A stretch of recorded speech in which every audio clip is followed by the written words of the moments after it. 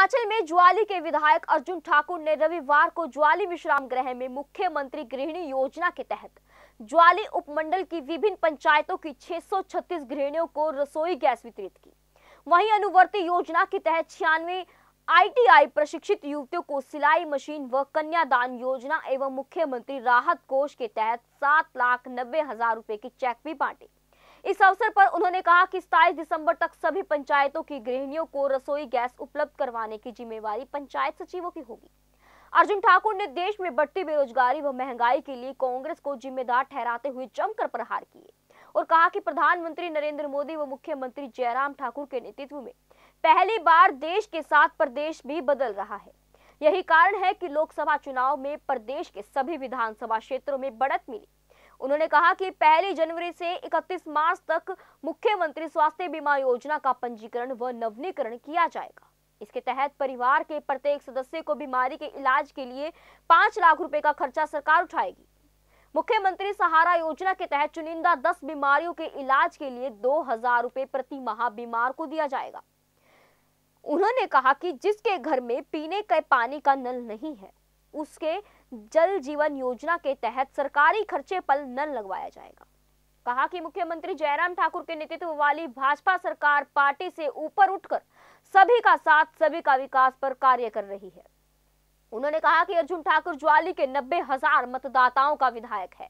भाजपा कभी वोटों की राजनीति में विश्वास नहीं रखती। जब हमारी सरकार 2017 में बनी तो पहली ही कैबिनेट में माननीय मुख्यमंत्री जी ने पहले ही बजट में फैसला किया था कि हिमाचल प्रदेश में कोई ऐसा घर नहीं रहना चाहिए जिसके पास गैस सिलेंडर, चूल्हा ना हो। उस श्रेणी के तहत जिसको मुख्यमंत्री गृहिणी योजना का नाम दिया गया, उसके तहत हमने आज भी कनेक्शन बांटे हैं छः केवल नगरोटा सूर्य ब्लॉक से संबंधित जो है। मेरी तेरह पंचायतें फतेहपुर में बढ़ते हुए अलग से हैं।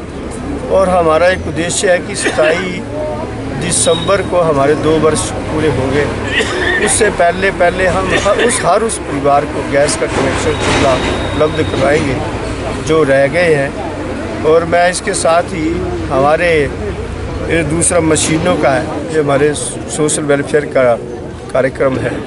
तहसील वेलफेयर डिपार्टमेंट वालों ने इसको किया है। इसमें हम 96 परिवारों को, बच्चों बच्चियों को सिलाई मशीन देंगे। और जो मुख्यमंत्री सहायता कोष से जो पैसा आता है, वो सात लाख से ज़्यादा की लगभग राशि आई है। कुछ राशि बांट दी इससे पहले, वो आई है। तो इसके लिए मैं आप सबकी तरफ़ से, अपने ज्वाली विधानसभा क्षेत्र के मतदाताओं की तरफ़ से माननीय मुख्यमंत्री जी का दिल से धन्यवाद करता हूँ। और मुझे आशा है और मेरा अपना अनुमान है कि ज्वाली विधानसभा क्षेत्र में बहुत कम ऐसे परिवार बचे होंगे। जिनको मुख्यमंत्री गृहिणी योजना के तहत गैस नहीं मिली होगी आज भी आप देख लीजिए पंडाल भरा है तो मैं इतने कहता हूँ JBD Banquets lie हैं incredible marriage palace Rajgharana and the finest banquet hall Jyoti Garden. World-class catering, centrally air-conditioned, lush green lawns, state-of-the-art lighting. A perfect venue for wedding, launching and parties. Rajgharana and Jyoti Garden at JBD Banquets Enterprise. ऐसे ही latest खबरें पाने के लिए bell icon को click कर हमारे channel को like, share and subscribe करें। धन्यवाद।